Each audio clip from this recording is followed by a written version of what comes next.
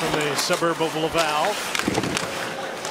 Zach Hyman works the puck out of the corner on a line change. A wraparound score!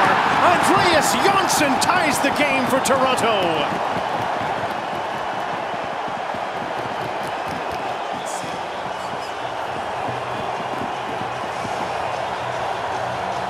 End of a fourth line shift.